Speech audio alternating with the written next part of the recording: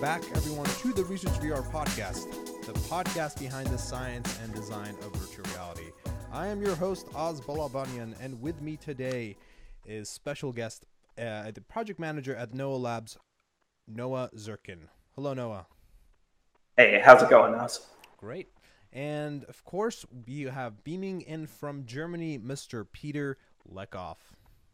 Well, good morning, everyone. Yes, it's a good morning indeed. We are actually doing, uh, for the first time, uh, also a video podcast at the same time because uh, our guest is going to be doing a little show and tell on oh, this webcam of some of the hardware and the gear that he's been playing with, including the project, um, the the Leap Motion project North Star, which we've talked about on this podcast many a times.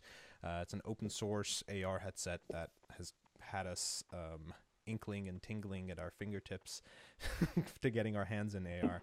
Um, oh yes, and all the other. There's actually a few other AR headsets that you Noah are um, quite familiar with. So we're going to use this opportunity to have you on the podcast to talk about what it takes to build a Project North Star, um, how it works, how it feels, and what you've been doing with it. Okay. Yeah. So let's let's start kind of at the beginning. How did you find yourself in this realm of virtual reality and augmented reality, and how you're working here? Okay, it's a it's kind of a long story. I'll try to abridge it. Um, I, I suppose I first heard the term augmented reality while on a summer camp field trip to the MIT Media Lab, Nice. and uh, and I was uh, 14 and Steve Mann and Thad Starner were there at the time, and we actually got to have a uh, a little uh, Q and A session with uh, Thad Starner, um, who, if you guys don't know, uh, ended up on the Google Glass team and has been Ah, a, uh, a real uh, research luminary in, in wearable computers for, for a really long time. So um, I think he mentioned AR. What it's certainly the first. uh, this would have been 94. Oh, okay. Yeah, we're going way back. Yep, I think they had just gotten their hands on a Virtual Boy, which we got to try out. Yeah, it sounds Yeah. about right. Yeah. So, yep. Um, he uh, he was rocking a uh, Twiddler two uh, chording keyboard. It might have, might have even been the Twiddler one at the time. kind of keyboard Um, was it?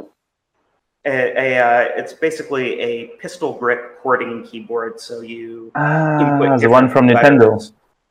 Uh, no, no. Uh, I forget the company behind it, but there are um, three columns of four buttons, I believe, and the and the characters are different combinations of those buttons, and so it goes into a little holster, and uh, I think the more recent ones have a little trackball on top. Um, anyway, he he was wearing a little computer in a fanny pack and had a um, had a little monochrome headset hot glued to uh, some safety glasses. He'd cut a hole in these safety glasses and, and put a little display on there. Uh, would have been one of the, the first sort of micro displays, I guess, something akin to the viewfinder on a uh, on an old camcorder Mhm. and um, and then he had this pistol grip keyboard, and I was just like, wow, this is the coolest thing, Hmm. you know, ever. And I was sort of into uh, sci-fi concepts like uh, you know, heads-up displays, power armor, Sure. stuff like that, you know. So so as a 14-year-old into this kind of thing, I was just like, wow, this this stuff actually exists. There's people, there are people working on it, and in the case of AR, there's a term to describe it. Um, and then, let's see, years years later, so so I then, you know, had a, a sort of, uh, um, I ended up working in. Uh, well, I had a few odd jobs, uh, in, including for uh, Tekserve, which is a was a computer retailer in New York. It was the, the first Mac store, uh, maybe in the country, and is the store was the store that Apple based the whole Genius Bar model on. Um, but uh, after let's see, after leaving there, I got introduced to the Arduino by Yeah.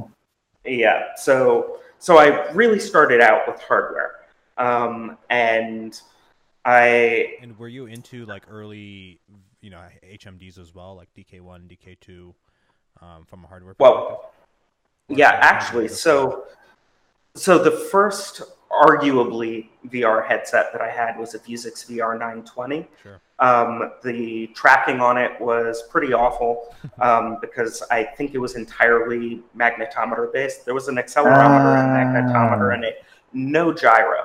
So um, you know it it was a pretty Must have been awful. uh, update rate. Yeah, it was awful.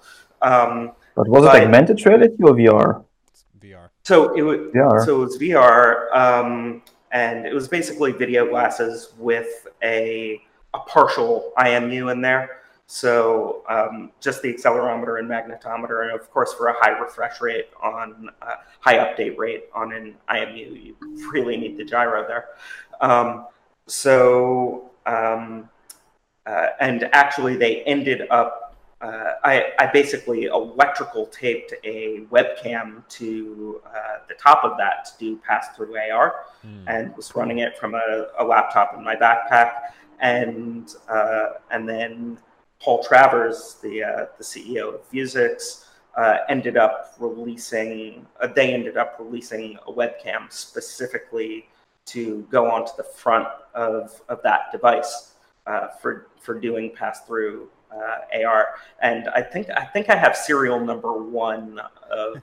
Uh, uh, of that camera at What, least. what sort of what sort of latency did um, did a system like that have for the pass through AR? Um, well, it was pretty brutal. I mean, of course, it depended on the uh, on the computer itself. It was a it was I think it was better than VGA the camera, but um, you know, uh, you know, maybe 1024 by 768, and uh, But in terms it like, was latency, I, in, yeah, in, in terms of latency. Um, because that's the killer. I honest, yeah, I I honestly don't recall it for the pass through itself. So so this uh, the CV stuff that I that I was running on it was uh, pretty awful because I was doing it in processing, so it was all Java based, um, and uh, using a library called Myron Myron CV, I think, and uh, Myron it was called. Mhm. Um, and uh, and so that introduced a fair bit of latency, but um, the latency on the video itself wasn't so bad that it compromised my ability to use it. So I Right. actually went out into public wearing this thing. I rode the New York City subway with it uh, a couple of times. Really Um, freaked people out. Um, yeah, and do do you by any chance know the anime code Serial Experiment Lain? Because Yeah. particularly in the beginning, when you today this uh, uh, in the beginning of the show describes the situation where he had like this pocket computer, like what you're describing is one on one the scene where the guy literally uploaded his consciousness into the IP protocol, sticks some computers to his body, basically walks like a cyborg and creeps the hell out of people. Must have been really fearful for those people, right? Oh, Alexa. Galaxy's theme song like walking on the Alexa. Oh. German. I love the German Alexa. Yeah, sorry, uh, that wasn't Alexa. Uh, so, so were people like freaked out by it, or Uh, I got a lot of strange looks. I mean, th- there's always weird stuff going on on the New York City subway. Yeah, yeah. Um, uh, actually, I've got a, a weird encounter to uh, tell you about from the New York City subway as well. Um, uh, but the, yeah, I mean, uh, I don't think most of the people on the train had ever seen anything like that before, and um, yeah, it was it it was pretty odd, but it was fun. I, I, do you I think sort of like freaking people out. Do you think today they would react differently, or Uh, yeah, probably. Um, Okay. I didn't get anybody speaking to me or asking me uh, questions. I think nowadays they would. At this point, Mm. everybody's familiar with VR headsets. If they haven't tried them, at least they've seen them. And uh, so I think people would engage with me. Um, but uh, at the time, people were just looking at me like an alien. All right. Okay. So let's get let's get into kind of like the the more recent developments. Um, I'm guessing you you know kept kept yourself familiar with with VR headsets that were coming out, perhaps even a Hololens and a Magic Leap. Um, but what what drew you to? Uh, actually, I don't know if you if are you the first. You might not be the first that built a North Star, or how many people in the world have built um, this open Okay. source Project North Star? And yeah, Okay. give us the, the maybe a broader context if I don't if I don't know it already. Uh, So, as far as I know, the first Project North Star built outside of Leap Motion uh, was built by a team at a company called exiii in Japan. And there is actually a pretty big uh, Japanese enthusiast community uh, around North Star at this point. Mm. They recently had a meetup, and I think they had 10 different units there um, that people had built, and they were all different variants. Right, Every single one of them right. was unique, which was was very cool to see. And um, and because it's this open source project, of course, people are going to fork it into all kinds of different things. And so exiii's uh, was a fork um, because they ended up using these displays that were originally intended for the Raspberry Pi, um, not the uh, extremely high refresh rate, low latency No. displays that were prescribed by Leap Motion. So, oh, pardon me. So, I, they must have been That's actually- really basically not suited for this case, right? I mean, usually those are, uh, Arduino Raspberry Pi screens are like the cheapest one you can get, right? Um, so, so the displays they were using at first, I don't think they were using the SPI-driven displays. I think I think they did have HDMI in, so Hmm. um, Oh, it wasn't so bad. Basically, a uh, a smaller variant. I think somewhere around here I have like a six-inch Can you uh, Raspberry display. But Can you also um, des- can you also describe kind of uh, in general how the North Star works? Because I mean, just looking at the the videos of you wearing it, perhaps some people, uh, including us, like don't fully understand um, how the even the like I guess primarily how do optics work. How does the display work? Okay, so the optics path is pretty pretty simple. Nice. So, Um, so Noah now, di- let me let me sorry describe. Noah is now showing us the North Star that he has built by himself. If you want to see this, this is on our YouTube page. So find uh, look up Research VR podcast on YouTube, and you will watch this. Yeah, and if you ever looked at the Magic Leap and have been thinking, you know, the pictures, man, I'm disappointed. I'm looking right now in this project North Star, and I'm like, I want to have it on my head right This now. Cyberpunk. Yeah. Yes. tell tell us more. Well, it, it is cyberpunk AF. That said, um, I I don't want to badmouth Magic Leap or anything because oh, um, they well no because they have a variable focal depth in a way that nobody else uh, does at this point. Maybe yeah, to a certain degree, right? It may not be it may not be the light field display that we were led to believe they were going to be Yeah, releasing. exactly. Um, and yes, I was disappointed with it. Right. That said, um, that said, they have um, variable focal depth, and nobody else does. That is prob that situation is probably going to change in a few days at, Yeah, uh, with at MWC. Yes. Exactly with Hololens too. Um, Oh, look, I. Yep, uh, that was that was a funny encounter too. Um, I mentioned to you guys before the uh, podcast, before we started recording, that uh, I was just skiing in uh, Whistler uh, near Vancouver um, a few days ago, and uh, I, I was getting a drink in a bar with my father, and I overheard two guys uh, next to me talking about industrial IoT. And you know, in in my day job, we do um, you know we build industrial IoT projects, and I'm actually managing one right now. So I said, "Hey, what kind of project are you guys working on?" and so forth. Um, and they said, "Well, actually, we're with Microsoft." And uh, Mhm. one of them's like, "Yeah, I'm on the Azure IoT team." And I'm like, cool, I, I might be uh, calling on you. Let's exchange contact info.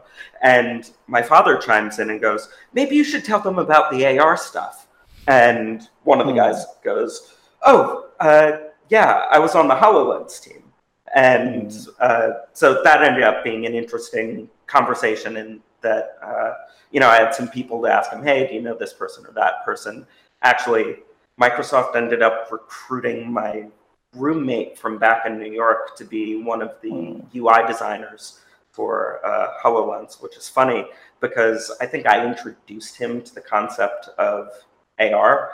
Um, Nice, Uh, doing quite- quite- quite a long time ago. And then he goes, "Hey, I got a job with Microsoft." And I'm like, "What are you going to be doing?" He's, uh, I can't tell you. And like three years later, Hololens drops, and he's like, "That's what I was doing." I'm just like, "You son of a," you know. That um, We should, by the way, we should for sure um, talk about the Hololens too. At least what we can speculate or what we would like, maybe towards the end of the podcast. Um, hopefully, this will Yeah. come out before the uh, the announcement in March. So, yeah, If not, you all can know that we failed miserably with our predictions, or not. Maybe we Or not, did. yeah, this could be a great time uh, time capsule. well, so, uh, yes, sorry about the digression. So um, no, no, no, that's I, I this, is, this is a podcast. Yes.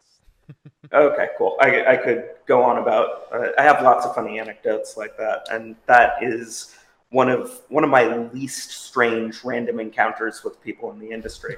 um, um, the prob- probably uh, the most notable one was running into Sergey Brin on the New York City subway. And you guys have probably seen the photo that I took uh, of him. Uh, Is- maybe not. Is It this a was- famous? it went viral as hell.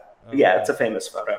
It's uh, it's Brin on the subway wearing glass before it was released, um, wearing a beanie and has like a plastic, you know, Chinese food bag. And Oh, I uh, see it. Uh, um, here, it- let me pull it up on the video. Mhm. yeah, if you just look up Sergey Brin subway, you'll you'll find that picture. Um, All right.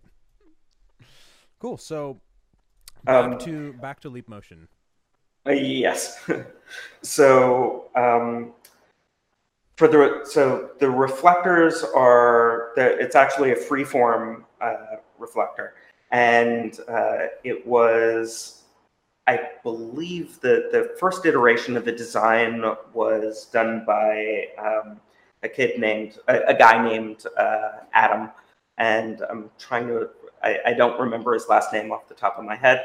Um, and he actually ended up um, partnering up with, uh, I, I think David Holz recruited him uh, to Leap Motion specifically to work on North Star. on And I think he designed, the, yeah, well, um, on all aspects of it, actually. So he also did the uh, the first iteration, if, if not of the display driver board hardware, at least the firmware.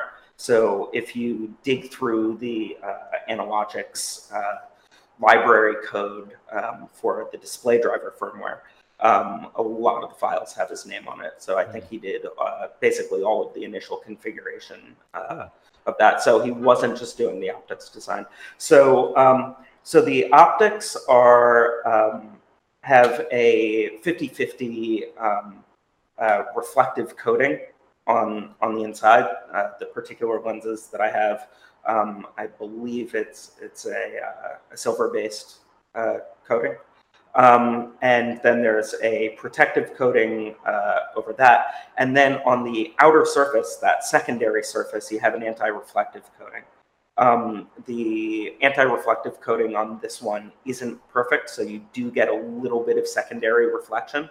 So that's sort of a, uh, a you know, very slight uh, ghost image of what you actually want to be there, just slightly behind it. Um, there are more perfect anti-reflective coatings, and um, I'm looking into uh, having them uh, improve the one uh, that's Um, uh, one on the question? lenses that we're producing. Yep.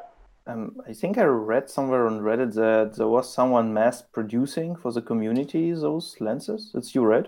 That that would be me. Perfect. That would be me. So, um, yeah.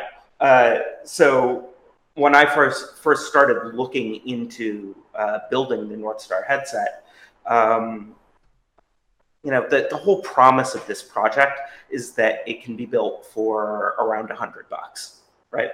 And and that's what's so intriguing about it. You know, when when something like the uh, Magic Leap costs what is it, 23, 2500 bucks? Yeah. Um, and and uh, HoloLens costs 3000 and, and so forth. Um, uh, you know, price is a big factor in the accessibility of uh, optical pass-through AR. No. And and when Leap Motion came along and said, "Hey, we've got a reference design that you can build for a hundred bucks," well, that certainly piqued my curiosity. Of of course, um, I ended up, uh, you know, I was a little skeptical about it, but I was waiting for them to release those open source plans. Hmm. Um, now, I originally came to China. I guess we didn't mention this, but I'm based in Shenzhen. Um, so I'm based in Shenzhen, China. And, uh, Yeah, there we are hear lots it. of supercars. Shenzhen biker you have gang. just heard- I, well, so that's kind of funny. I don't, I don't know if I can mention this. Uh, two two wheeled motor vehicles, um, gas powered two wheeled motor vehicles, Are they- are they uh, are ver, are verboten. And Yes. uh, so um, that said, there are some motorcycles on the roads. I've been told that um, the former chief of police here has a biker gang that he and his friends drive around on motorcycles, um, which Okay. is, you know, you can interpret that however you want. You can uh, decide what you want to say about right? China, but I um, think they're probably electric.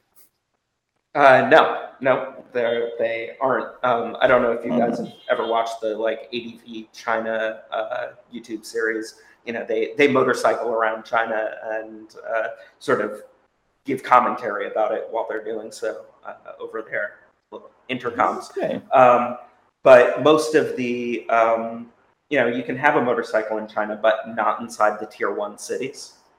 And um, so that said, um, you know, I don't know if I should say this. I do ride around on an electric motorcycle in Shenzhen, and it is technically very illegal. And um, but uh, I Are- are- seem to be getting away with it somehow. Before we move on, uh, is it you said all two-tiered vehicles in Shenzhen are are Two two wheeled. two wheels? Sorry. Um, Yeah. No. So o- electric bikes are legal, but they I think they can't go over 25 kilometers an hour. Yeah, so you similar can to Germany. you can pedal a normal bicycle faster than that, and um, it has to have pedals, and it can't weigh more than some Yeah. ridiculously small number of kilos.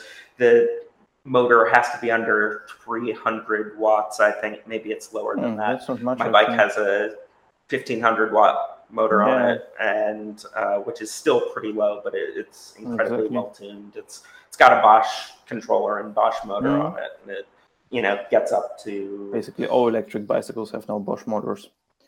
well a lot of them a lot of them Yeah, it's pretty Um, dominant. I, n- not in china not in china um, most of them are domestic so and Okay. an electric bike with a bosch motor on it here is sort of a luxury item um, so you're in the anyway another capital- digression Yeah, you're in the hardware Yeah. capital of the world where that's where people go to prototype. That's where they have their prototyping teams. Um, that's where they can print these very quickly, or even the, the raw materials are, are accessible. Is that Yeah. kind of where you found yourself to be? Well, so so I originally came to Shenzhen as part of HAX. Uh, back then, it was called HAXLR8R. So it was the first hardware hardware startup accelerator in the world, um, and I was pretty early on, uh, batch three um, of HAX. So at uh, actually, in the way I got introduced to it, another anecdote: uh, a friend of mine, Zach Hoeken, he was the uh, brains behind MakerBot and uh, used to run the RepRap Research Foundation. He was based out of NY- NYC Resistor, a hackerspace in New York, and um, he had left MakerBot over the fact that they had gone closed source on certain parts of their most recent printer. And um, so uh, so he ended up being one of the co-founders of this hardware startup accelerator in Shenzhen, um, and he uh, and he was the resident engineer there. So uh, I was building a wearable input device for controlling heads-up displays because I hated that I had to swipe on the side of my head to use Google Glass.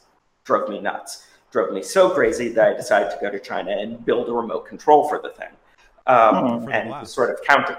Yeah, for Google Glass. Oh, cool. Um, so, um, so I ran off to China to do that. I, I had I had a wearable input device that I, I, I had been building for uh, for years before. It was actually sort of a descendant of a data glove that uh, I built uh, uh, quite a long time ago, maybe ten years ago, and that was sort of hyped by uh, Ori Inbar, who ended up going on to found uh, uh, AWE, That's right. Previously known as ARE.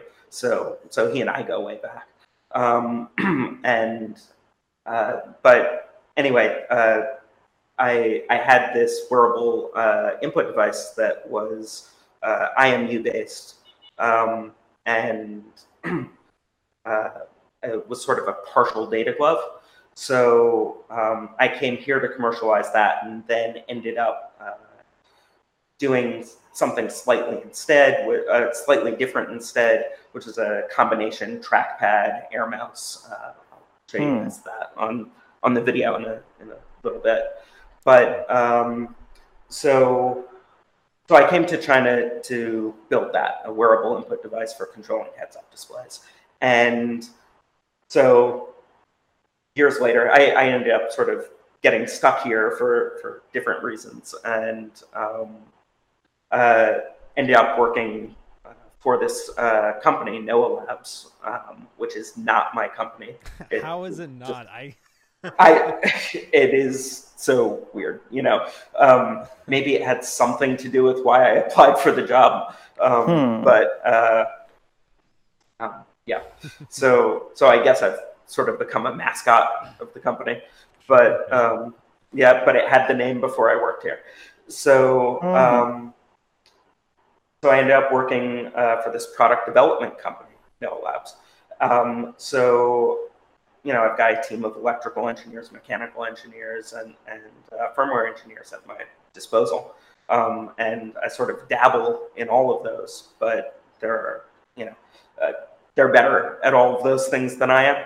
Um, so Leap Motion uh, releases, you know, rather announces this reference design and puts out these really intriguing videos.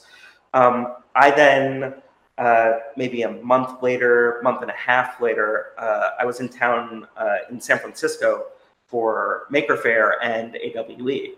And uh, they were having an event at the local PAX office in San Francisco. And I pop in for that and I run into uh, Cyril Ebersweiler, um, who is uh, who was one of the founders of HAX. And um, also happens to be one of the first investors in Leap Motion. Mhm. So um, now it had been a few months later, Leap Motion had already said, hey, we're about to release this reference design, and then didn't. And um, Mhm. I was, so I went over and pulled Cyril aside and I said, hey, could, could you talk to your friends over at Leap? I'm really psyched for this design, um, but where is it? Are they actually going to open source it? Um, he said, well, it's still the plan. We'll see. Um, I said, well, how is it? You know, I heard that, uh, you know, uh, Magic Leap 1 hadn't dropped yet, but I've been told by somebody that, hey, it's actually just going to use layered waveguides, not some uh, more exotic light field system. Um, and, uh, and so I mentioned that to uh, Cyril, and I'm like, so, you know, can this thing begin to compare? And he goes, this is so much better. I've tried it and it's so much better. Just be patient. It's coming. And, um, and sure enough, it did.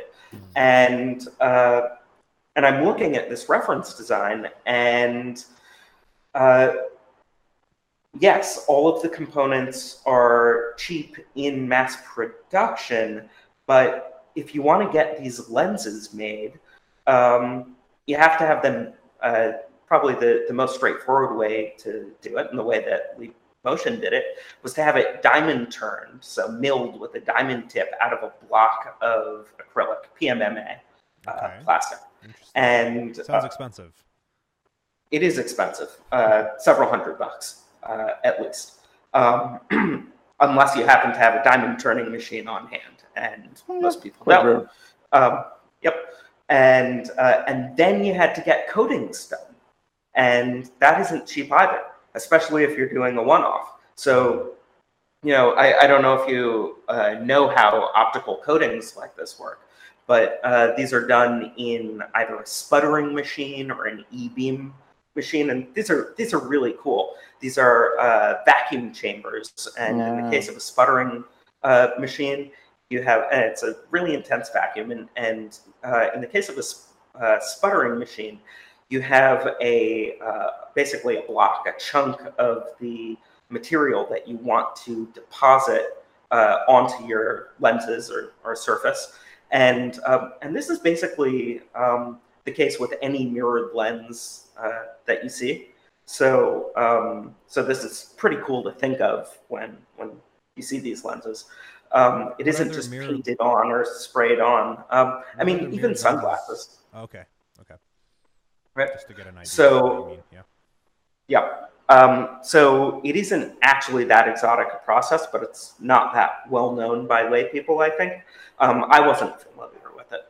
Um, so, uh, so they then shoot. So, so you have your your lens facing this block of material that you want deposited onto it, and then they shoot an electron gun at the at this block of material, and it causes um, you know a, atomic or molecular scale bits of this material to come flying off in the opposite direction and stick to the object that you want coated. Hmm.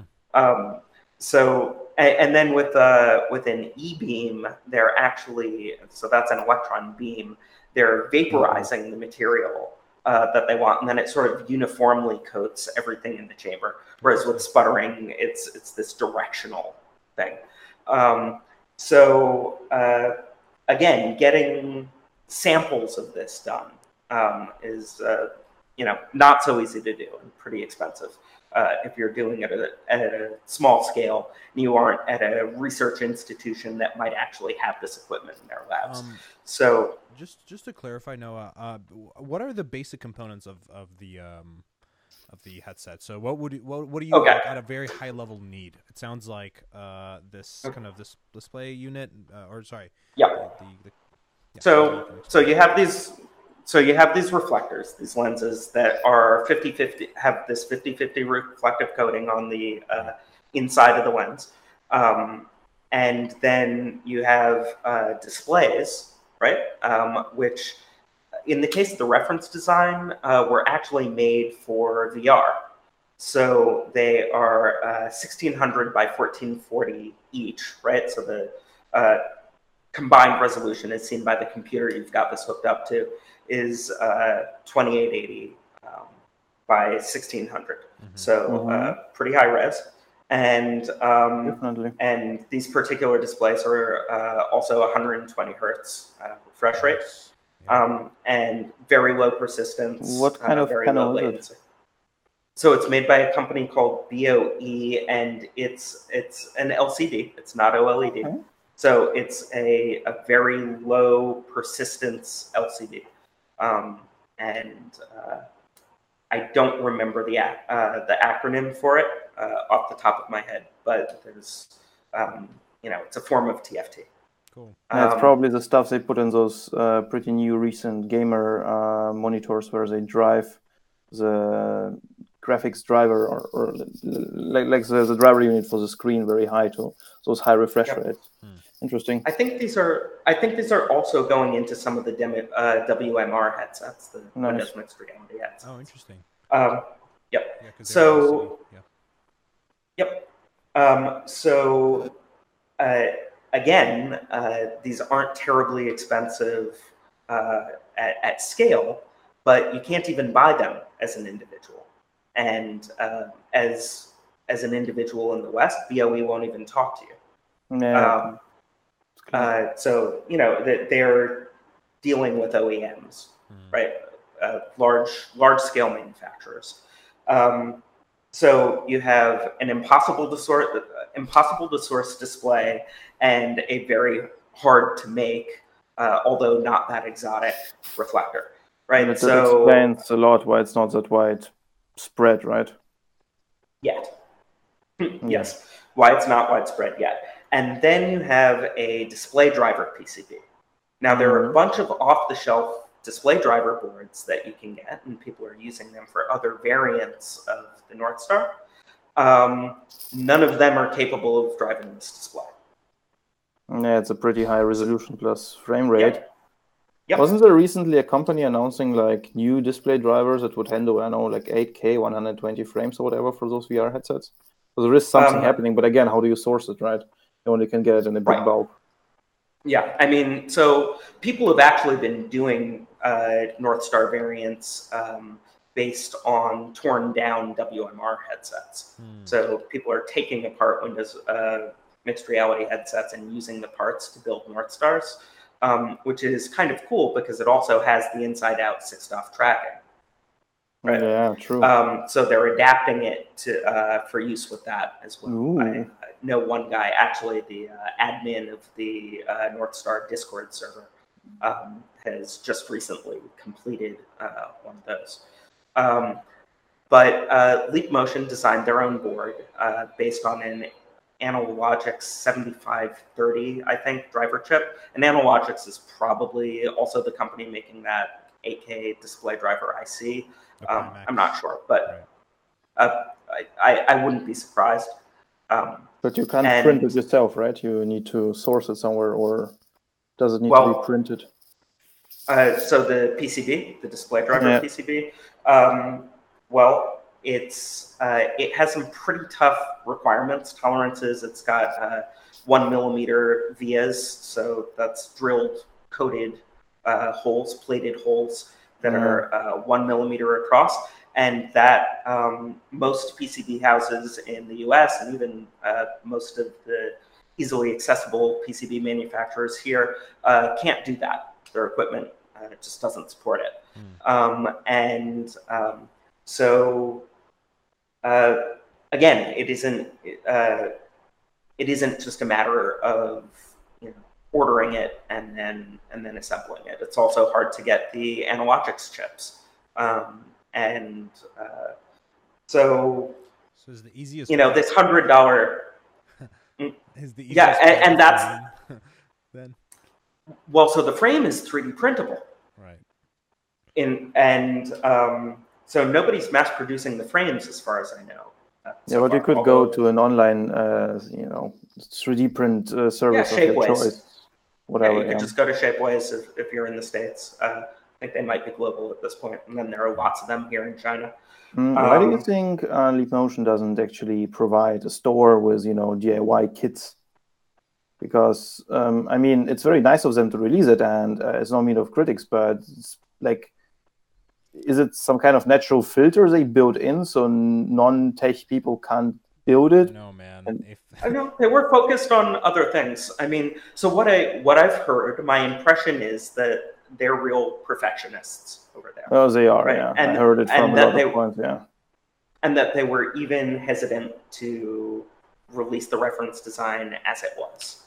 Um, so they may have been considering making kits, but uh, I think the idea was ultimately that companies would take this reference design and um, Yeah. uh, and make derivative commercial products from it, right? That Mhm. it wasn't going to be this hobbyist thing. No, that Um, makes definitely sense. What kind of tracking does your headset has right now? Okay, well, I'll get to that in, Because that's in also one kind of second. Okay. Um, well, yeah. Um, the, uh, so I'm actually uh, about to start selling kits. And I Oh, think cool. part of the reason why they didn't um, jump straight into doing the kits was because I told them I was going to. Um, the um, the uh, so the reflectors uh, were you know hard to hard to make and hard to get and this this hundred dollar reference design ended up, you know, it was going to end up costing eight hundred bucks to uh, to build, and you know something like that. Um, and uh, so I said, you know, screw this. What's what's the point of that if uh, if people are going to have to pay so much for it? Um, you know, I could, you know, I end up calling up uh, Edmund Optical and asking uh, asking how much it was going to cost to uh, get these reflectors made, and I said, you know what, I'm in Shenzhen. Um, uh, I'm just going to have an injection mold made. And so I searched around for a company that would do it uh, inexpensively enough that I could Mm. afford it, um, and that was confident in their ability to do an optical grade mold. And uh, took them uh, about a month to do. And, uh, and so I had blank reflector samples out of that, um, you know, pretty pretty quickly. But uh, you're probably in the only that decision to place. But you're literally in the only place on Earth probably where you could pull it off, right? I mean, Shenzhen is literally like the hub for innovation. I mean, like one third of those Kickstarter projects that actually are quite interesting and succeed come from Shenzhen. I mean, it's it's, At it's a gut feeling. I don't know. It's it's thirty percent, ninety percent. Who knows? But like, I mean, there are so many to come to come in. They're probably all about manufactured here. Yeah. No doubt. Yeah. Alright. Um, so Noah, I mean, uh, actually going back to Peter, what you were saying, why doesn't Leap sell kits? If I mean, if they wanted to sell this headset, they wouldn't sell kits. They would sell an actual thing, or what they were trying to do with you know Dragonfly and their mobile sensing Yeah. unit is that they were trying to partner with and license with OEMs to actually build it out. Um, Exactly. I think with for that, I mean, to do that, you need a significant amount of capital, uh, which it sounds like that's kind of was the big like that's like the limiting reagent right it's it's uh if they were able to ha- if they had those billions of dollars to build it out and actually to to have a whole supply chain of uh secure to build these things they would have done it but it's very expensive to do it and and if you can if they can't afford to do it then why not you know open open source it and see what hack what hackers can do um but that's No, it's it's definitely great attitude. Yeah. Yeah, no, um, So- I- uh, we didn't realize that you were also thinking about um, mass, not mass producing, but at least perhaps selling kits. all the parts necessary. Yep. Um, and uh, so that's actually in the works. It actually got displayed by, uh, sorry, delayed by Chinese New Year, which um, just uh, was uh, just just wrapped up. Right. But um, as far as I know, this is the only headset outside of Leap Motion that has the uh, originally prescribed uh, displays. Right. The this is the only one to Leap Motion spec. Wow, Right. dude. So that's so it has it has the BOE displays in it, and it has the Leap Motion designed display driver board in it. Um, and I've got a hundred of those boards in production right now. Ooh. Nice. Um, and uh, so that's enough for a 100 kits.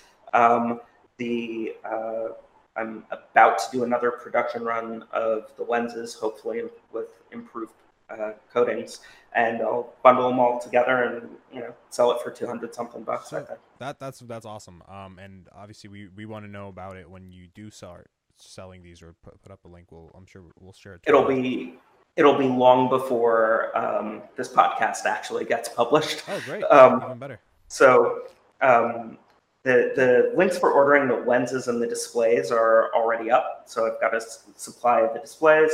Uh, the lenses are already shipping out to people. So um, so I sent off a whole bunch of sets uh, for that North Star uh, meetup in Japan to for them to give out free to students, and then Nice. um, How, and then a bunch of people have also bought them.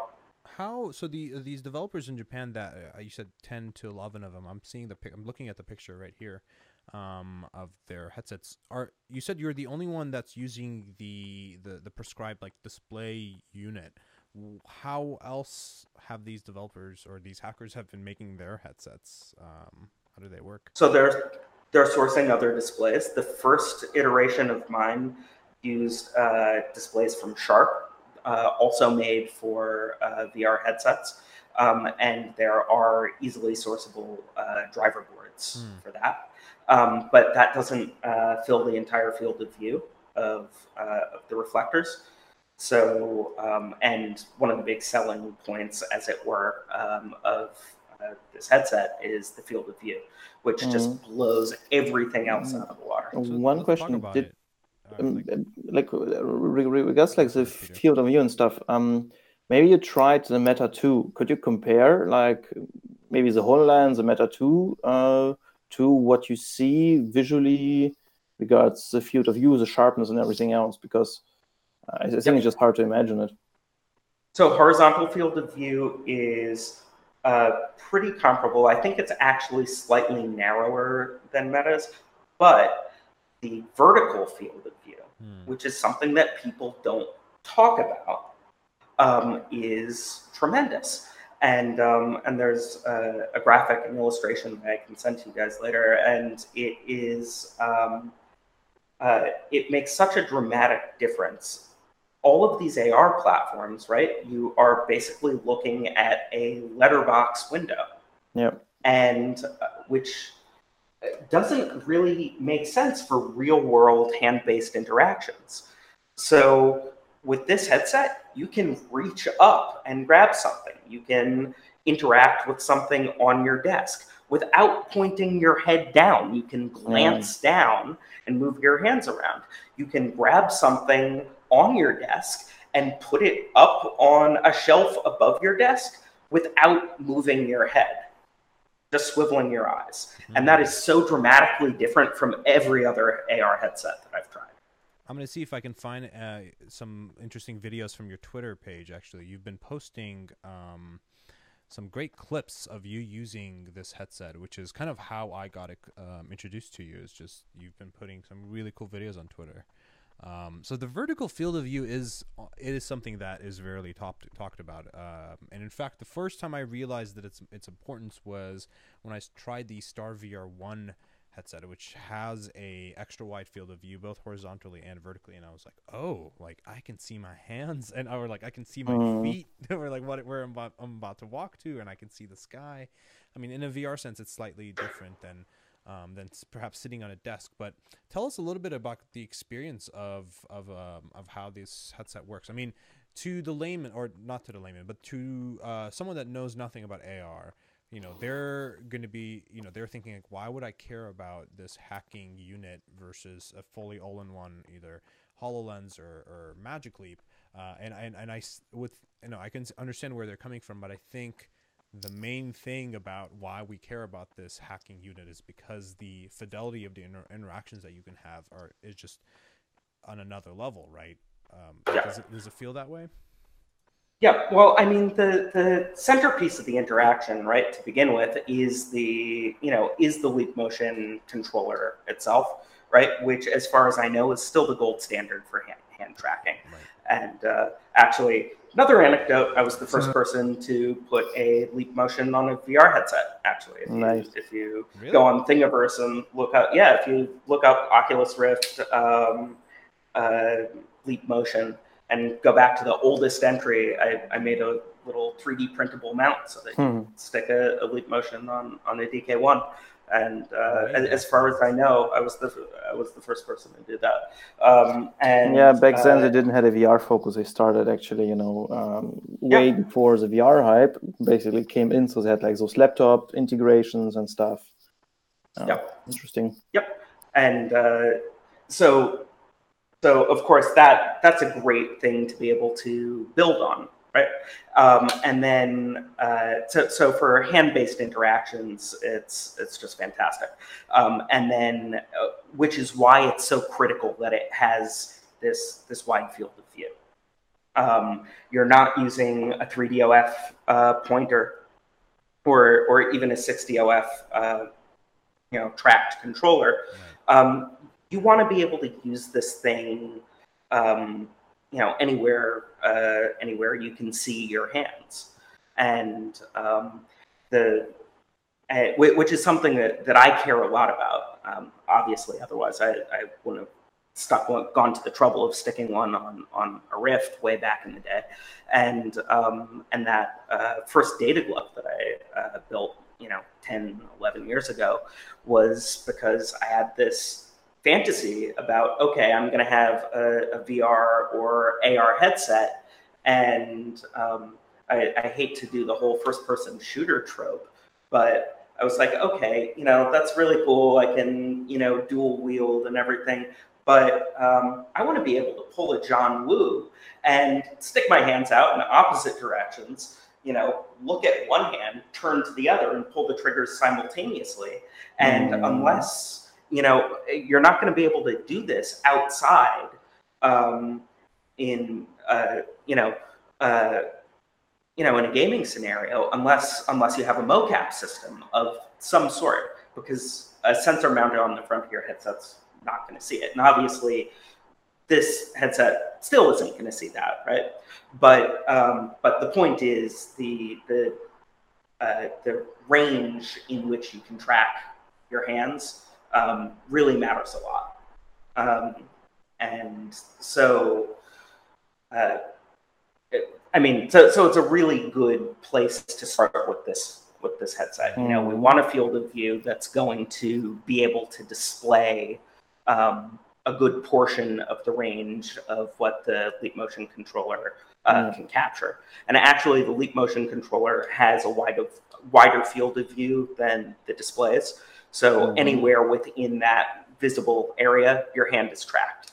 Right. Um, right. and I, and- this is still the original like 2010 or 2012 release Leap Motion hardware unit, I believe, right? That's Yeah. that's Which is crazy. Yeah, it's been the same. I they might have I don't know if they've had minor refreshes, but it's ex- almost all exactly the same, and they just update the software and their hand tracking even throughout the you know three years that this podcast has been out. Uh, we've seen it grow from um, Yeah. I forget what it was first called to the Orion Orion uh, update to what it is Yep. today. Um, but yeah, they they are by far the at the top of you know hand tracking. Still, nobody has been able to catch Yep. up to them. Maybe they're which is behind, but yes. Which is crazy, and the um, in in a really good way.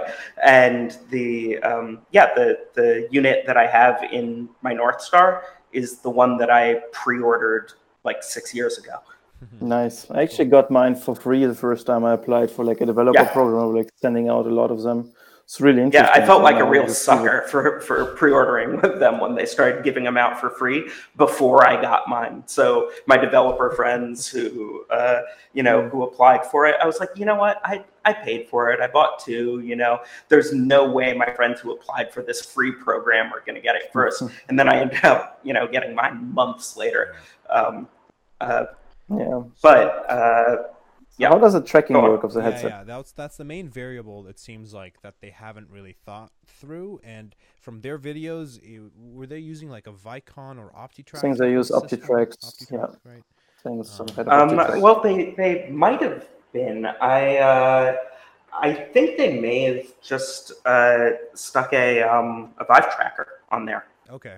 No, no. Uh, in the videos that No? they have, they use uh, optical systems. They have like those Okay, tracking balls okay. attached to the headset With the ping pong paddles um, having Okay. the retroreflective kind of dots. but- because it's very easy to implement. Um, I I think this was Yeah. a ma- uh, I mean, if you have any, something you want to make trackable, working with those quite expensive OptiTracks, uh, whatever systems, it actually gives you, if you have it, a very easy way to. yeah, but a, a um, Vive tracker loaded. could It's a lot more expensive though. Right. Yeah. Honestly, and and a Vive tracker could do the same thing if you have the same Yes. controlled environment, right? You have a uh, wherever my lighthouses are now, but um, yeah, that that would work. So it seems like you have a structure core sensor on top of. your Yes. I do. Nice. And- yeah, let's and- take a look at it again. Um, yep. So uh, this is a sensor from Occipital, right?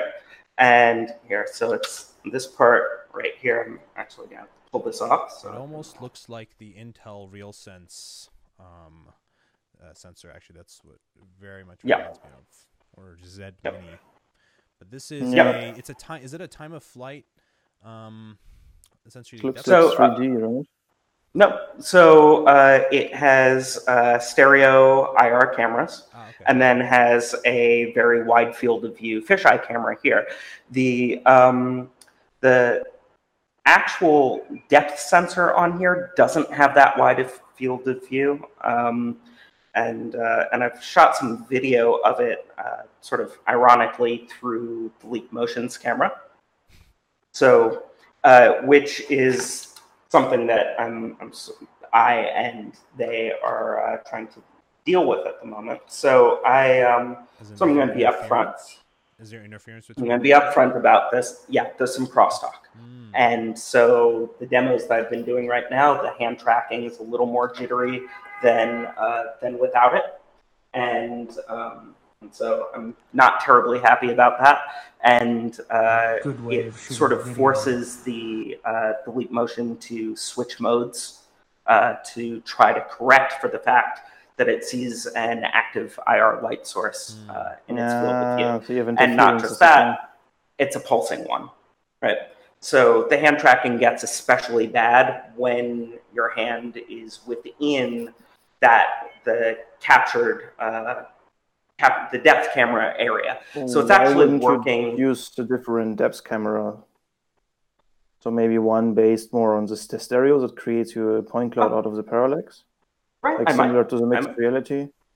Yeah. Um, I'm well, not sure so, if Motion can fix the interference, right? I mean, they both rely on uh, infrared, I would assume. So, okay. So, first of all, I don't want you to judge the structure core based on on this fact. No, right? no, no. Because because the firmware Amazing, yeah.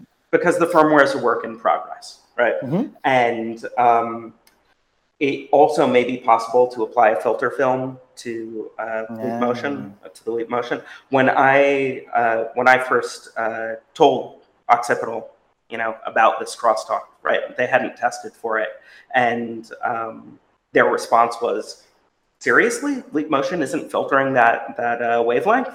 Uh, so they were Mm. surprised by it, um, and they were really eager to see the structure core mounted on on a North Star headset, um, and were were surprised when there ended up being that crosstalk. Um, so in in terms of how the depth sensor on it works, um, I don't know if you've encountered the original structure sensor. So the original structure sensor was based on that same PrimeSense tech as the original Project Natal, you know, Kinect. Mm. Um, so it's it's shooting an infrared uh, laser through a holographic diffraction grating that is producing a non-repeating uh, pattern, right, Mhm. uh, onto the environment uh, in front of you or in front of it, and uh, then using an IR camera to interpret the deformation of Mhm. that pattern. Right. So, um, so the original structure core was based on um, on PrimeSense technology, and Occipital ended up actually becoming the maintainers of the OpenNI uh, repo um, when after Apple bought uh, bought PrimeSense. Mhm. Um, so the the sensing in this is um, is no longer directly, you know, it doesn't have any components uh, in common with the PrimeSense tech, um, but uh, is is still using that um, you know infrared projection, laser projection through the diffraction grating to uh, to produce that pattern and and then what's one of the things that's different about this is that it has stereo IR cameras, so it's interpreting that pattern from two perspectives, and that does make a difference. Um, Mm. and then uh, and then they're also doing optical slam using uh, using that uh, fisheye camera in there as well, and then they're fusing all of that data. So so it's a pretty s- so it's a pretty sophisticated sensor. They also have, um, and those are synced up. Uh, the IR cameras are synced up global shutter uh, Nice. IR cameras, and then um, uh, and then they've got an IMU in there as well, right? Okay, that's and quite a good deal, yeah. Yeah. Um, uh, So no, I mean, it sounds like there there might there might be multiple kind of solutions to positional tracking, and if you're going to be you know selling kits to developers, um, has this been the most optimum one for you, or or would you recommend or like you know try to uh, yeah recommend for developers to experiment with like let's say a Vive tracker or OptiTrack or or maybe even um, I don't know if you've experimented with it with like the ZED Mini, the uh, the just RGB. So I don't have a- but I, I don't have a Z, ZED Mini, but uh, I'm certainly interested in trying it. Um, it gets talked a lot, uh, talked about a lot on the uh, Discord uh, uh, server, right? Which is seems to be the sort of central the center point of the North Star community is, is the North Star Discord server. We'll have to Um, we'll have to link it as well. Yep. Mhm. Yep. Um, find a link. so so there is lots of talk about the ZED Mini. I'm the first person in there to get their hands on a structure core. Um, I really do like the tracking. Um, the fact that there is some interference between it and Leap Motion Sensor um, is obviously a problem. And um, there's, you know, looking for an alternative hand tracking solution, I don't consider an option because that would be incredibly bad form to take their reference design and cut their sensor out of it. Um, that's, and that's, that's what makes the North Star the North Star. Okay, it's sort of hard to Yeah. overstate It's leap just how much. and and so um, so that's not even something I'll entertain. Um, uh, uh, just uh, and largely because it would set a bad precedent for you know uh, I obviously care a lot about open source hardware. It would set a bad precedent for other companies uh, considering uh, open sourcing their uh, their projects that have uh, real commercialization potential. So Fair enough. Mhm. Okay, so, um, I mean, we're kind of we're, we're I think crossing over an hour here. Um, Ah. how so? How I mean, what what are your overall thoughts when it comes to this headset? I think that's what I want to get get to at this. Um, at the you know to wrap things up with this conversation is you're okay. You're a developer. You've used head, head mounted displays for a long time, um, and you're one of the only people now that I think is has been using kind of a higher fidelity version of augmented reality, even if it's not uh, vi- both visually, right? Field of view is wider, but also the uh, the UI and the interaction system itself is higher fidelity. Um, you also have a Vuzix Blade. You have other, you know, smart glasses. Um, kind of give us what your overall thoughts are about um, how you see this North Star, uh, how it fits into a developer's tool bag, um, and what you know what what are the benefits that come from that. Okay, so uh, in terms of class of headset, it's it's sort of in the same uh, class as the as the Meta Two uh, is was. I'm not Okay. sure how to state that. Um, in that it is tethered, right?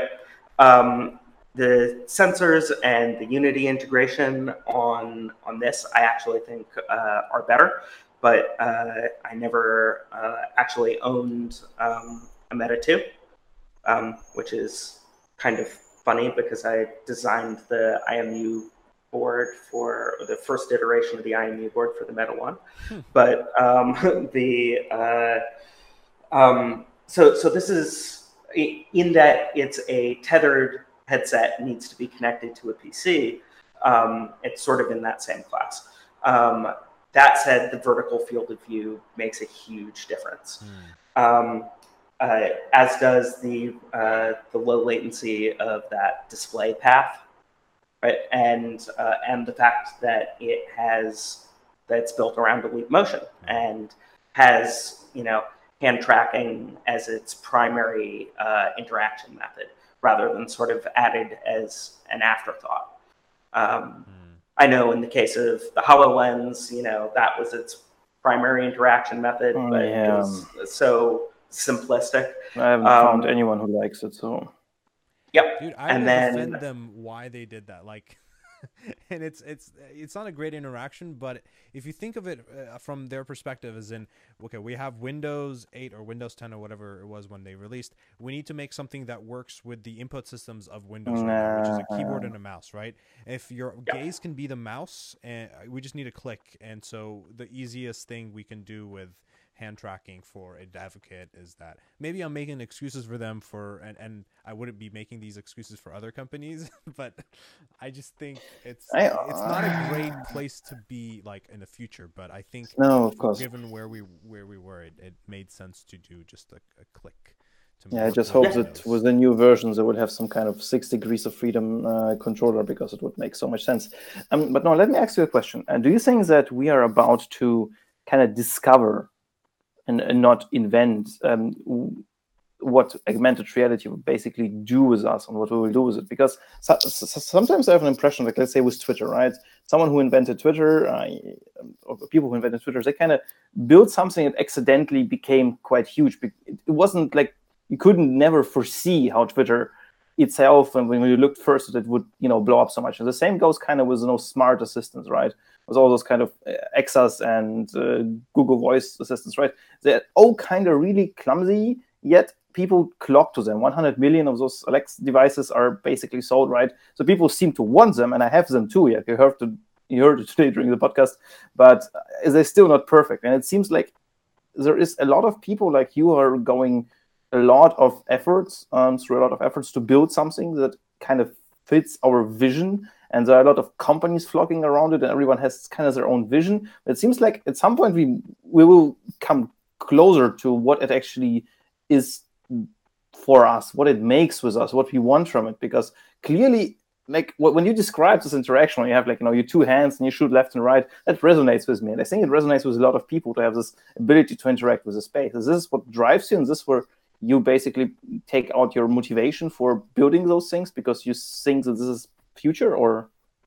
Well i'm very curious to see what people are going to do with it. I've had my own fantasies about what you can do with ar for a very long time. Uh, i've been inspired by a lot of uh, fictional works.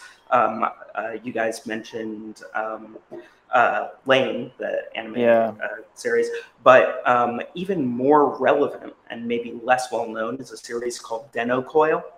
Um, Mhm. If you guys haven't seen it, make a point of checking it out. Uh, it's from a, a while ago. It's D E N N O U, I think. So uh, Dennou Coil really addressed the future potential of AR uh, quite well, quite a long time ago. There's also a book called Rainbow's End by Vernor Vinge, uh, which used to be referenced a lot. Um, in fact, he was one of the keynote speakers uh, at one of the early uh, AWEs back back when it was ARE. Um, and um, so so these are both uh, you know pretty. You can get a lot of inspiration uh, out of those. Um, and for me, um, what I'm really ins- inspired that that the possibility that inspires me the most uh, these days. I'm I'm less of a gamer nowadays. Um, is uh, data interaction, data management, and um, Mhm. you know because I'm I dealing with so that much. a lot in you know in the manufacturing business, in product development and manufacturing. Uh, there are a lot of complex processes.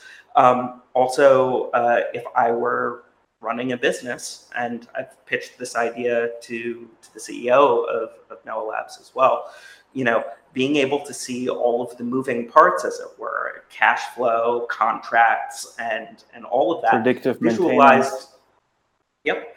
Visualized spatially around you rearrangeable um, and and manipulable with with uh, gestures. Um, i think uh, would be much easier than at a computer with the keyboard and mouse for for you know and vr vr is already very good for that um, Sure. uh, for spatial data visualization um, although I haven't seen as much of it uh, as I'd like to. Um, and uh, but also being able to use it, you know, even in the office when it gets scaled down to a set of smart glasses, right? When when something in the form factor of of Vuzix Blade or or uh, North Focals, right? Um, yeah has the same visual dis- stereoscopic visual display capability um, that that North Star has. Um, do you think it's and, possible and and and Yeah. Magic Leap is already getting there, right? Um, uh, yeah, I, I I know we we all love to hate on them, and I I made a big I made a big point of it for a while, having not actually tried the headset based on other people's um, you know uh, based on the fact that they hadn't released the the optics that we all sort of expected and, and so forth. And then at CES um, a month ago, um, I got to try one and got to play with Tonandi and everything. I was like, you know, this, uh, yeah, the field of view is narrow. It's it's small, um, but this is a pretty small package, and there's focal So- depth variability, and and nobody else has that yet.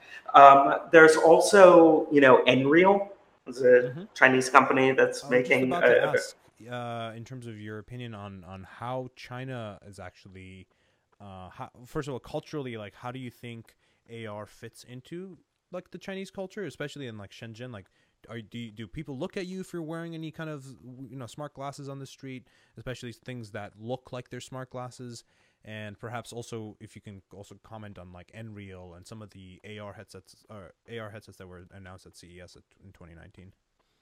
So I mean, I think Nreal is they're they're sort of the ones to be taking most seriously, mm. and um, I, I got to try out. Uh, so, so the current ones are just sort of micro display based, um, uh, pass through optics, uh, a lot like um, oh, uh, uh, Osterhout Group uh, was using, and and uh, yeah, yeah, and uh, and so forth.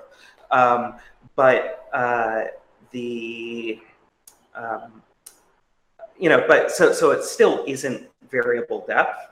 That said. Um, at AWE in a in a closed off conference room, you know, in one of the uh, demo suites, uh, I got to check out a um, basically a modulated light field display uh, that they had there. Now it was bolted down, and uh, they were you know showing a little virtual creature jumping from the top of one soda can to another, and you know, uh, but the depth.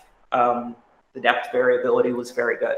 So they aren't, uh, you know, they have stuff in the works and and are worth taking seriously. Yeah. The, the reason why I wasn't impressed by the variable focal display of Magic Leap is because I had a year and a half before that I had tried the Avegant uh, mixed reality light field display that they kind of ah. wanted to license, or I think they're still working on that on, on licensing to other OEMs. But that had real continuous focal so like whatever you know i had something way up close to my to my nose to something across the room and i could actually switch focus and i had correct blur and bokeh and it had you know it didn't need eye tracking to do that. It was real continual off eye focus. So if we're oh i haven't tried that. It's uh, well very I, I don't think many many people have um but th- seeing that and then seeing oh you have two very discrete focal planes with waveguides and just just yeah. just a second throw a second you know throw a second waveguide in there and call it um, a light field very oh man we went into this on a very deep on a podcast hmm. in terms of like uh, just looking into the terminology that Magic Leap was using to describe. Oh my God, the photo- photonic light field chips. Uh-huh. What? What the? You know, I'm I, I don't know what your cursing policy is on this podcast, so I'm not going to do it. But but that's a real WTF.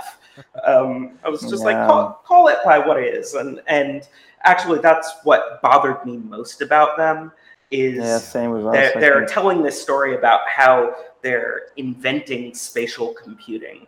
I'm like, uh-huh. they've been using the term spatial computing in academic papers for decades now augmented reality is a well established field academically. You know, ISMAR, the ISMAR conferences, you know, the yes. IEEE International Symposium VR, on Augmented stuff, yeah. Reality has been around for a long time. Mm-hmm. And, you know, people like, uh, you know, Steven Feiner at, um, uh, at uh, Columbia, right, has been working on this stuff for a very long time, doing you know inter, interaction studies and coming up with best practices.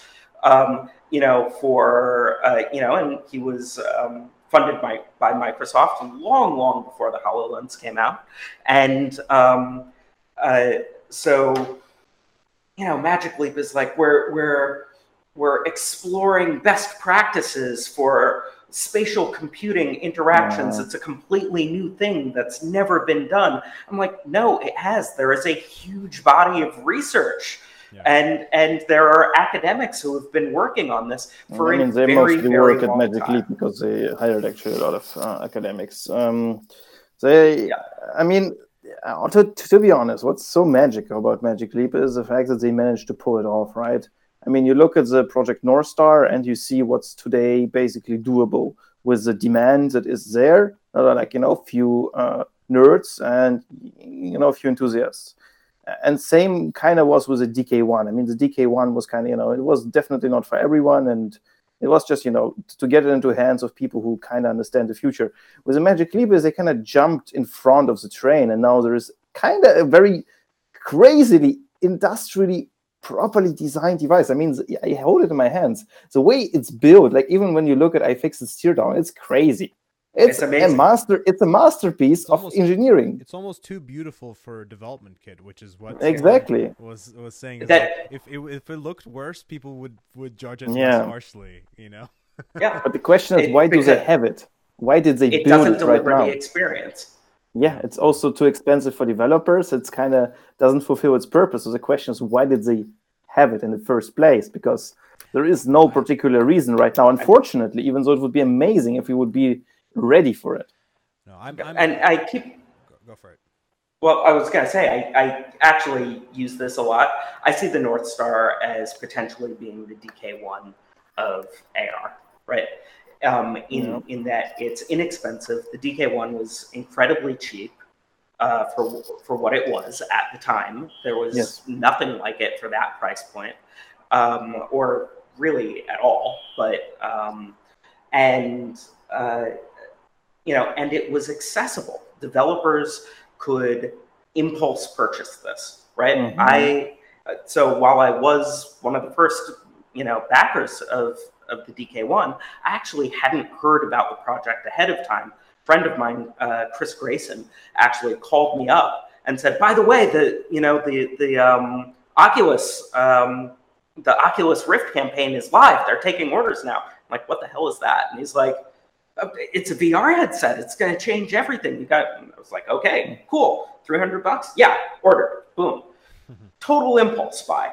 And, and you can't do that with the Magic Leap one. It No. has to be a considered purchase.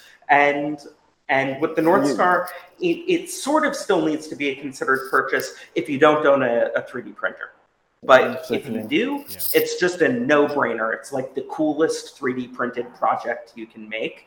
If you have a decent computer and um, and a 3D printer, you buy the parts from me, hopefully, and um, and uh, you know, and you're up and Not running. like there are any other people offering parts, right? I mean, I don't think I- anyone has I- a choice. I, uh, yeah, at the moment, at the moment, um, Yeah. you know, that might might not last, but uh, at the moment, I'm the only one producing the lenses. Look out for the shipment that's going into the headquarter of Magic Leap. I guarantee you they will order one, right? Um, I um, obviously can't divulge the identity identities of companies that have ordered this uh, from us so far. Okay. Um, uh, but because they're they're placed through a store page, right? It's Mhm. not like they called me up and asked for it. Uh, there's um, so Noah Labs has a, a sort of a retail offshoot subsidiary, and so Mhm. I'm having them do the fulfillment. Um. Obviously, there's a privacy policy in place, Of course. Yeah. um, but but there there are a lot there are there are a lot of names you know um, purchasing the parts for this. I, I can imagine, and I'm sure. I'm, I'm hoping to see more of these on my Twitter feed. So, uh, to our listeners, if you're interested, um, and we'll like to There mess around with hardware, uh, that this would be cool to, to work with. Um, so we promised earlier in the episode to talk about the Hololens 2 and to kind of give our uh, quick thoughts or perhaps rumor speculations before the announcement, which is uh, in a few weeks. So, um, just I'm just going to read this off of Tom's guide in terms of what rumors. wh- There's been very little rumors, surprisingly, about the Hololens 2. Mi- hi- uh, Microsoft has kept it very well locked down, uh, but supposedly it's going to have a wilder, wider field of view. I think that's probably going to be on top of Yeah. list. Um, this one says from 35 degrees to 70 degrees. That's a 2x Ah. increase. A Qualcomm Snapdragon inside. Um, Mhm. with I think even uh, they're saying that perhaps an LTE connection. That Yeah, they'll probably jump to the new uh, Snapdragon that they releases basically for VR. and 855. has LTE, yeah. 855. Uh, okay. so it's uh, Pretty so it's not the. XR1. It's not the XR1. It's the 855. I think this is confirmed. Okay, that's that's great to know. Uh, it's Oh, really beefy. It's actually a desktop Yeah. uh, chip, right? It's designed for Uh, laptops, I uh, think. what the Snapdragon? Uh, I think the 855 is actually for, or maybe I'm mixing up with the I X1, think it's but still it's pretty mobile, beefy. but it's yeah, It's incredibly powerful, but AR requires a lot of horsepower. I mean, it's analyzing a lot of things, very And- more so but than the, VR. but the analyzing happens, as far as I understand, at least on the whole, there's one more on the FPGA side. So I know that um, the sensors that the Microsoft HoloLens One uses produce like one terabyte of data per second, and it's being jumped into a custom SOC, so system on a chip, which then basically derives a lot. Because I mean, they were stuck using an Atom. There is no way an Atom can process a terabyte of data. You know. yeah.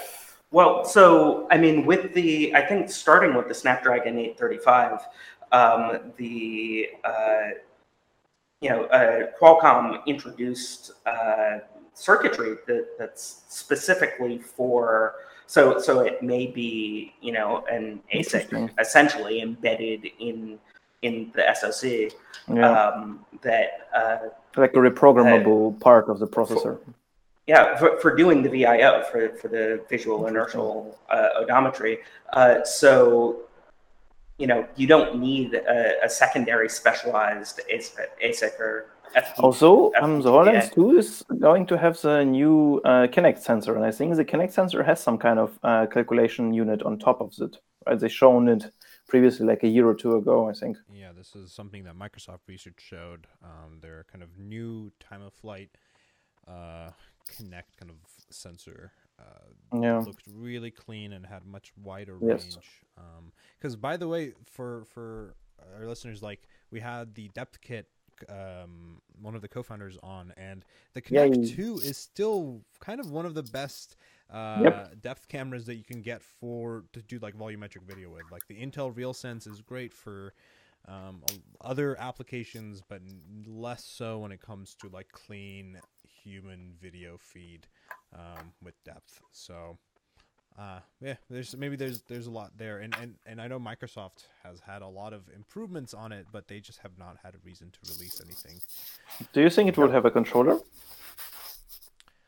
A controller, maybe, maybe. I mean, it's really hard to say. I think the really the biggest thing of this headset is going to be the display is going to be um, on an, just a, like a new generation uh, optics, as well as the the hardware that it's running on are just going to be like. Uh, it's kind of like the quest of AR, like you know, or Mm. Um, do you really? Do you think it will be the quest of AR? Because so far, Microsoft managed That's through their sheer power yeah. I mean, it could be, but you, see, there are like a lot of those B two B projects right now. You see, like a lot of big brands, you know, bragging how they use Hololens in their everyday, you know, teaching people how to pick. Uh, picking is a term from logistics, where they, pick together Yeah, boxes. Yeah. sure, you take a three thousand euro device, put it on someone that only runs two hours, that earns uh, less than eight euro per hour that he's going to pick. You know, that's probably not going to happen. The question that I always have in my mind is, was it, you know, HoloLens two, will it be this device that will be actually usable finally It's good enough for the army. It's good enough for the but United for the States army you can take i mean but the army is probably um, one of those instances where you're ready to take any difficulties i mean look at how people operate missiles or whatever like a shitload of buttons right so in, in a sense i, think, I think it's the opposite. Like the army would probably has higher, um, in, in things need to work more and more consistently with users that know less about this technology. Like it's it's like probably even a harder use case to try to like design for. Um, but I think the a big advantage that that Microsoft does have over Magic Leap is their enterprise focus Yeah. because like their headset doesn't have constricted field of view, doesn't have you know uh, things that like uh, OSHA would have problems with when it comes to safety regulations. Um, Mhm.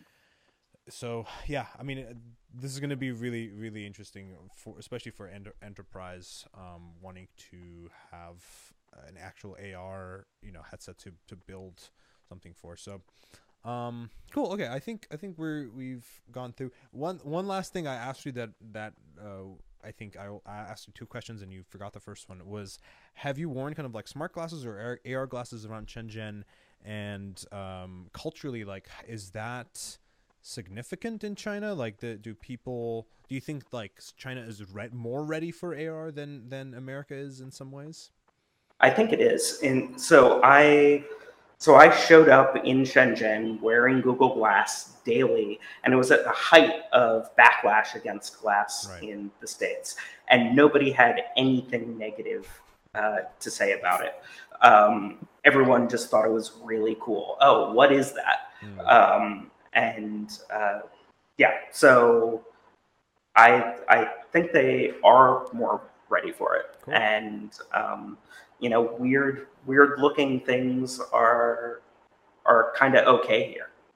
Yeah, no, that's that's very interesting. America really in the West is like, I think has a uh, has a wounded leg when it for AR because everything is going to be compared to glass. So it's just it's it's a hard uh, barrier to go over. So that's why people are trying to like completely circumvent it and go around and never even talk about you know AR or smart glasses. So So from yeah, from a business perspective, though, there's actually a little bit of resistance uh, to to AR at the moment because maybe a year ago or a year and a half ago, when things weren't quite ready, uh, or, or maybe even two, might even be longer than that. There was a big wave of um, AR Yeah. investment. Sorry, kannst du mir schreiben, was los ist? So there was a- Peter there. Um, Yeah. So there was a big wave of AR investment, and uh, most of those startups, there was no actual substance to them, and and a lot of them failed. So um, investment here tends to follow trends, whereas whereas in the West, right, you're looking for something unique that other people haven't invested in yet. And it's like this, you know, this hasn't been done. Whereas here, people, and, and I think this is totally backwards, want something that's proven. Oh, smartwatches are catching on. Smartwatches are a good investment. I'm going to find a smartwatch company to invest in. Whereas, of course, the you know, uh, if if the market already knows about it, and this is my opinion, or actually my dad used to tell me this, if the market already knows about it, it isn't good investment intelligence. Yeah, Um, because people, it's already a thing that you're not capitalizing by being an early person. I think it's that that's like a fundamental difference between American companies and Chinese companies. Is American companies are vision driven and Chinese companies are like f- first and foremost profit driven in the beginning. Um, and if yeah, in that you'll see uh, what you're you know hitching your your wagon to being different. So if you're profit driven, then you're most likely gonna try to build something that is that already has a, a trend or like something provable that can create um, like generate money now, even in the earliest stage of the company. Versus in America, it's Yeah. like oh, you know, we can be visionaries and predict that in 10 years, um, this technology will have matured enough to ha- be a profitable market and have investors, you know, support you until then. But um, yeah. there's Investors apply- of both. Yeah, And, and investors apply a lot of pressure pretty quickly here. Uh, they want to see returns uh, pretty quickly. At least uh, that's the prevalent culture right now. It's really hard to generalize about China, though, Mm. and Shenzhen especially, Hmm. because if things change, things evolve here so quickly. I mean, and and you know, in this city in particular, is the fastest growing city in the world, and and um, That's a good point. It's also you know, pretty from one year to the next, it's hard to recognize. I mean, the city exists only since a few years, right? Uh, Thirty, uh, yeah, thirty some odd years, and it's it's gone from uh, a few hundred thousand people to. Uh, I, I, it's been a long time since there's been a census done, but it's estimated anywhere between 15 and 25 million people. Yeah, just Um, just nothing. Yeah, just just a little bit of people. Just a few. Yeah, the fastest growing, ci- fastest growing city in the history of mankind. hmm Pretty awesome. Okay, Noah. Um, how can people find you? Excuse me. How can people find you, reach you, um, and or can, perhaps contact you about uh, these projects? Okay, so uh, at the moment, probably the best place to see what I'm doing is, uh, unfortunately, uh, on Twitter. So it's um, my Twitter handle is N O A Z A R K, Noahzark, no H uh, in there. So N O A Z A R K. Um, and uh, uh, let's see, I don't have an up to date website about the uh, project. I, uh, I have integratedrealities.com from way back when, but uh, Sure, uh, but I might start posting about it there eventually. But for the time being, Twitter's the best place to find something. All right, and uh, you Um, yeah. Sorry. go for it. The best place for ordering the parts is uh, smartprototyping.com, hyphenated. So smart-prototyping.com. That's where you can buy the parts, the uh, lenses, uh, the displays, the driver board, and uh, I should have mentioned that much earlier in the podcast. Yeah, we'll, Don't we'll worry, a link you'll- for these, and um, and Noah, if you Your can show also notes. help us find the link for the Discord group for the uh, for the Yeah, I have it. absolutely. community as well. Would be I have it. Oh, you got it already. Great. Yeah. Um, Yep. And you can find the Research VR podcast on Twitter at Research VR Cast. Uh, we like to post uh, videos, uh, clips, and, and and all the good stuff that uh, of of our weekly episodes. Um, and we also like to retweet our previous guests. So anytime there's like developments that they've been doing, um, interesting things that uh, we know you guys would like, it's always populated there. That's Twitter is our really our most active um, place that you can see you know some what's new. And we do have a very active discord channel as well. Uh, we're nearing 200 members now. Um, Wow. yeah i know that one that one grew a lot quicker than to 100 um, and that's also where we have post episode discussions. We have that's also where you can suggest guests uh, to come on the podcast and topics um, as well as just random link sharing that we do um, i also there is a shameless plug channel so uh, if you are a developer on that's listening to this and you have and you're working on something cool something that um, you you think you know Peter and I would like to see, or even the other listeners, the other VR AR you know pioneers uh, would like to see, and perhaps even collaborate on. That is what that is why it's there. Um, go and throw your work in. We're we're happy to take a look at it and see it. Um, I guess it's not maybe worth talking about it on the podcast, but we are doing a Patreon only stream. At least I am uh, a short one this Sunday, uh, which is going to be outdated by the time you hear this, because by the time you hear this, I will have moved, and a lot have uh, changes will have happened in my life. Um, all of which I'll be happy to talk more about.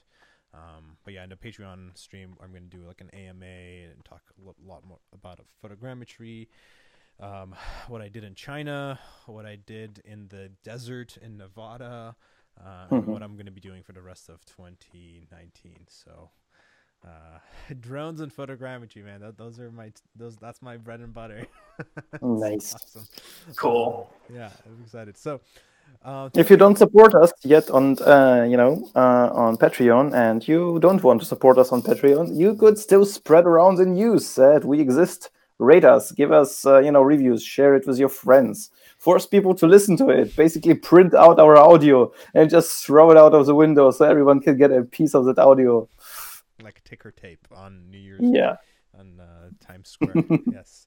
Um, yeah, no, if you like listening to this podcast um, and you want to help keep the virtual lights on the vir- in the in the virtual room, um, find us on Patreon. Uh, we are hashing out kind of the tiers and rewards, but even it's it's as little as two dollars. I think would be if if you find more than two dollars worth of value in this podcast every month uh, consider you know buying us half a cup of coffee that would really really be nice According to San Francisco prices. yes i don't know i don't know if in shenzhen can you get cheaper better coffee for t- uh for two dollars noah I think actually uh, Starbucks is more expensive here, and uh, you know, good coffee is, is pretty pricey here because it isn't ubiquitous. You know, it isn't really a Chinese thing. right exactly it's a very much west uh, they, they're much more of a tea culture i had some awesome tea ceremonies in china um Yes. learned a lot. I also I really want to go back to the point that you just made in terms of like not overgeneralizing about China because I've I've I really was like facing my own um I guess like I had my idea of how people in uh, companies in China, tech in China function and what they cared about and and I was somewhat surprised as well. So that could be an entire other podcast uh, for another day. So thank you again, Noah, for joining us, and uh, and hopefully we'll see you. Uh, we'll see more of your work in the future. Thank you. Goodbye, Uh, everyone. Awesome, Peter. Really appreciate it. Right. All right. Thank you all for listening, and we'll see you next time. Goodbye.